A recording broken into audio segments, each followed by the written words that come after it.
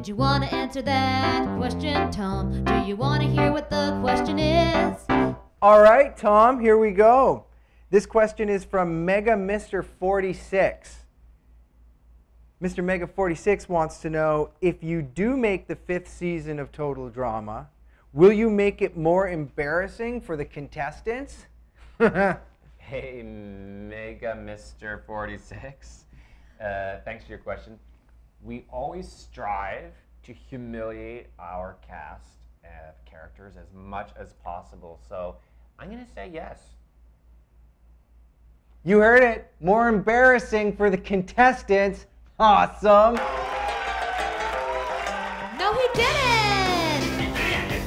No, he didn't! Tom, you're not going to believe this, but this next video response is one of my favorites because it blew my mind. This just shows how far and how awesome the Total Drama fa- fans are.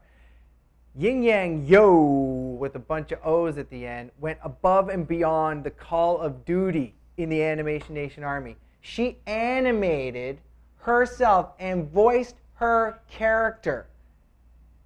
I'm going to blow your mind. Check this out.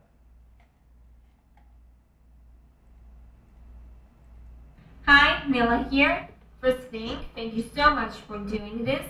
And uh, I have three questions for you. The first question is what inspired you to make Total Drama? Was it a specific reality TV show or was it something else? The second thing is if you're a Duncan fan, then why stab Duncan and Gwen? Did you change your mind or are you setting up a more dramatic love story? That would be so awesome. And my first question is the question that will be probably asked by everyone. Um, will there be a season five? Thank you so much for taking the time to listen to my questions. And Christian, of course, thank you for arranging this. Mila out. Thank you again. You know what? Yin Yang Yo. I think another question you should ask Tom is could I have a job at Fresh TV? Because that was friggin' awesome. You know, I want to share a little story with you, Yin Yang Yo, because it was such a high-end piece of animation that you created. One of the things that we did that was groundbreaking on Total Drama Island is we. Sorry, love it. Is we uh, cut the first episode down by a whole bunch of minutes because we didn't like the footage, and we we were right about to deliver it to Teletoon in Canada, and we didn't have enough footage, and we were absolutely pulling our hair out. What are we gonna do? So we came up with this idea after the fact. Let's create confession cams in an outhouse and just make up lines on the spot, record them, and animate just characters talking in a really predictable ways that we can rearrange quickly and get it out the door. And we wrote five minutes of new content in a weekend Wow. and animated it in a couple of days and put it on television. That never happens in television animation. It takes months and months and months, but it worked. And what you're doing is essentially what we did. And I couldn't be more impressed, and I love it. So good for you. Well, Yin Yang Yo brought this up, but we're about to touch on a very, very sensitive topic.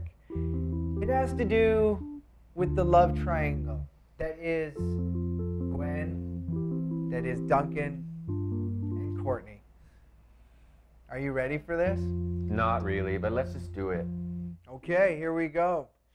This comes from Felayina D.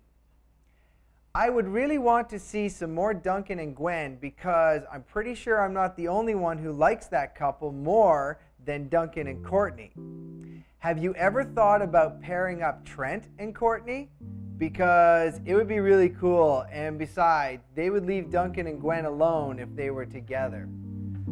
Whew.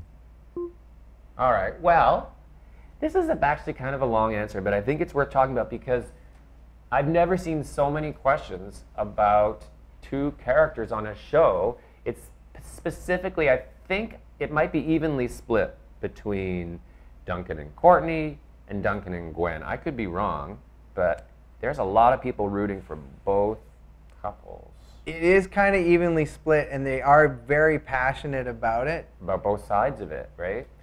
So I'm going to tell you a little something. When we work with our broadcaster at Teletoon, Athena Georgaklis is our production executive. So she's kind of like our babysitter at the network, right? And so she gets a lot of notes on all our scripts and asks us for certain kind of story revisions and stuff because they're really aware of the fact that this show is made primarily for kids and they want to make sure that the messaging matches all around. One of the things I asked really early on was don't let the romances get too crazy and too romantic because kids go out with other kids, they break up, they fall in love another time. That's just how life is, and let's not make some big married for life romance.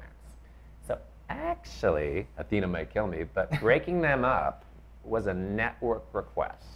And we kind of thought, well, it's good. okay. Network request. A network request. And I mean, when I say network request, ooh, she's our friend too, and she really had, she did a lot of thinking about it, and she said, let's just show what kids are like when they do date. Because most people don't marry the person that they started dating when they were 16. But some do, I guess. So that's the, the quick answer. Having him then go out with Gwen was a writing room decision that I was kind of ambivalent about. I don't know if I really was ready to go one way or the other, but I thought, okay, I mean, it's over, right? So why not? Kicking it fresh with McGillis. Kicking it fresh